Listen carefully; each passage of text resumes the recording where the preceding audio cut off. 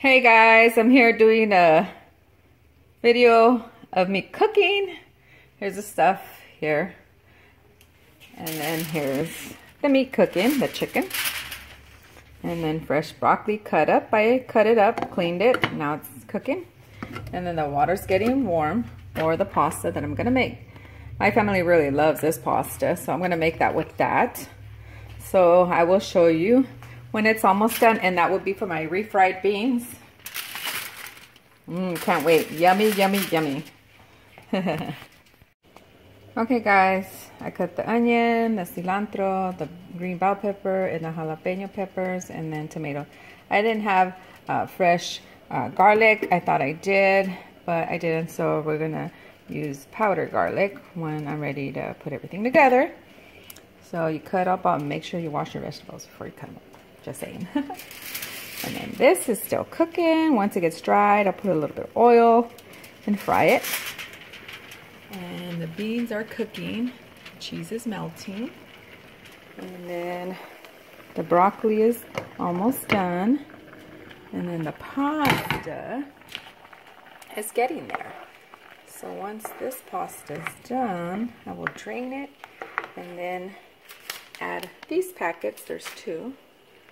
And this pasta is so good, like I said. My family loves it. So, almost, almost, almost yummy time. No, dinner time's 4.30 or 5.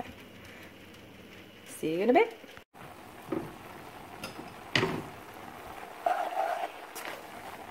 Mix it all together. And if you want, you could add more cheese in it if you like.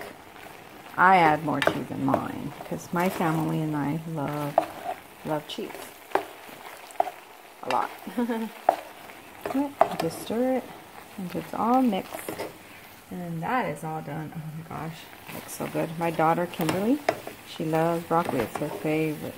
She likes it like it was candy. That's how much she likes it. Looks so good. Oh, sorry guys, it's bogging up.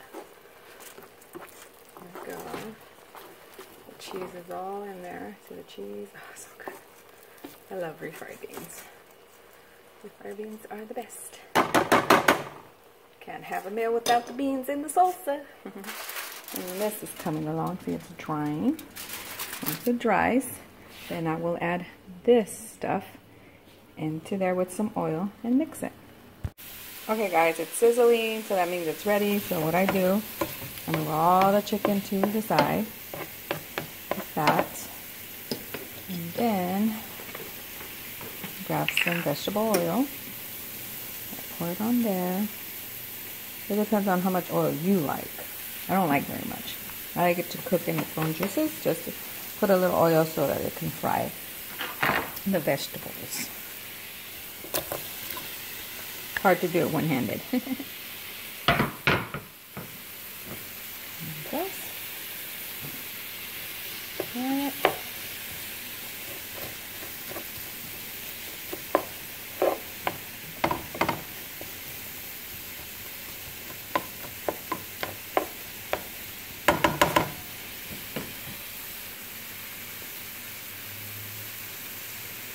garlic salt. I don't have garlic salt, garlic salt. I always have, I shouldn't always because I don't have it today, but I usually have fresh garlic. That's what I love to cook with. I love, love garlic. But I guess I didn't buy any when I went grocery shopping. So there you go. That's why it's always good to have uh, the garlic salt. So it comes in handy at times, especially these kind of times. right? Right, right, right. Then the next thing that you do is um, the bell peppers because they're hard and it takes longer for it to um, fry. So you put those in next. And then also the jalapenos. And the jalapenos, I only put one because I don't like spicy. My husband does. But if I make it spicy, then I can't have it. Nor my daughter. I just like it to give it some taste of spice. But my husband likes it super, super spicy. So I make him a, a salsa separate or we have like tapatio or el pato, stuff like that. for him. So, yeah. So, I can start mixing it.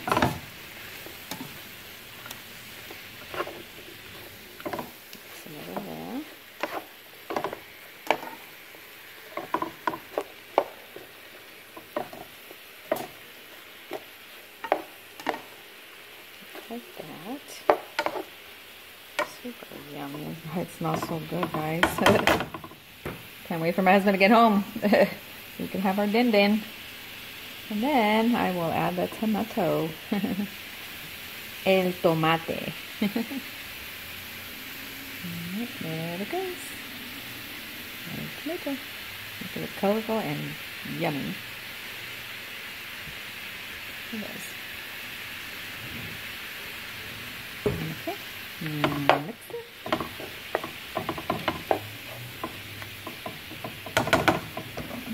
Put some more garlic salt in there, as much as you like, at your taste, and then some salt.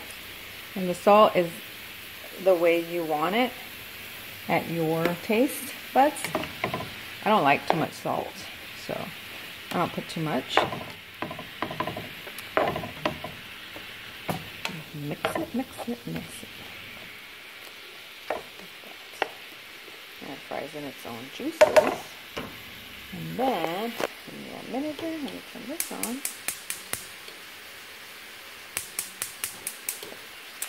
Then the last thing that I do is I love, love cilantro, as you can see. There's people that don't like cilantro, but I do. I love cilantro. I love a lot of cilantro on my dishes. And I love, by the way, I love, hmm. love to cook. I'll start making more videos of cooking. You know, I get so busy and I forget, oh, I could have made a YouTube video. but I'm making it now, so there you go. Alrighty, so that's it. And then I like to add, but you don't have to, I like to add oregano.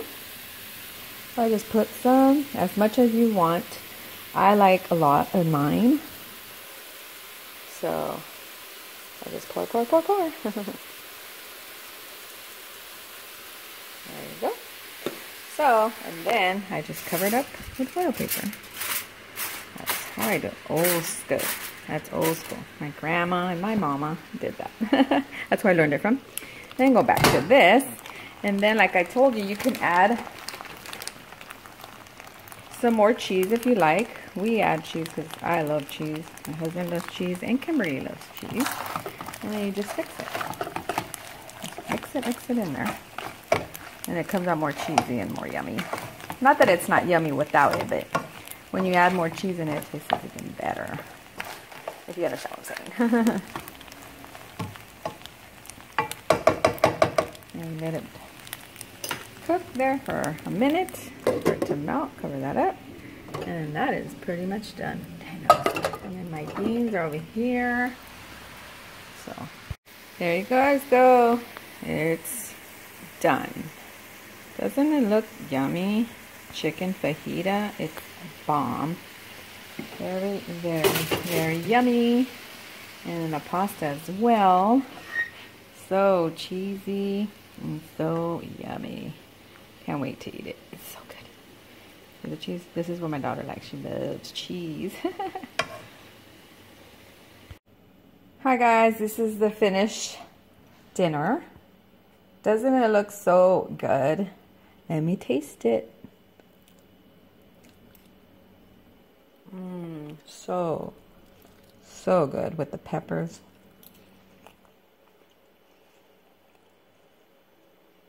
Sorry guys.